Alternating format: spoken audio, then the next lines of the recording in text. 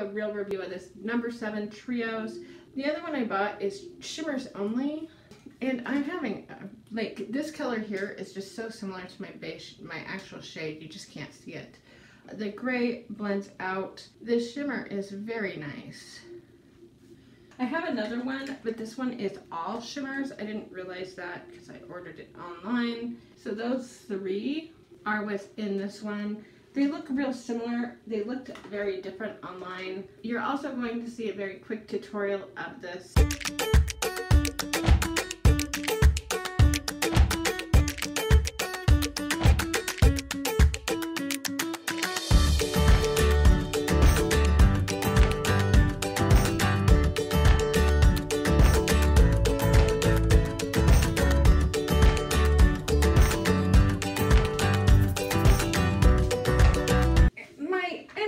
On these number seven eyeshadows. They're okay. They're why I prefer high-end eyeshadows oh, over drugstore. I mean, I do think the look is really pretty, but it's also really basic. I don't love that some of these come with all shimmers. Like, why?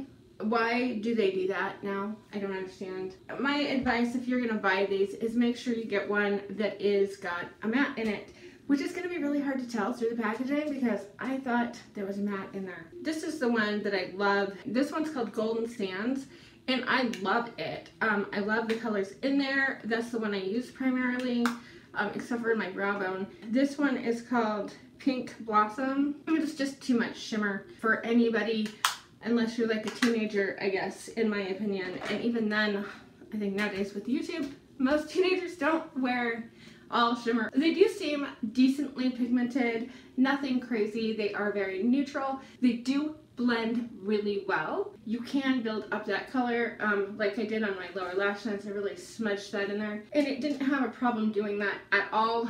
I think for drugstore, they're very nice. And I am a snob about eyeshadow, sorry. It's my one area that I'm super picky about. All right, let me know what you thought. Thank you so much for watching. I'll talk to you guys later. Bye!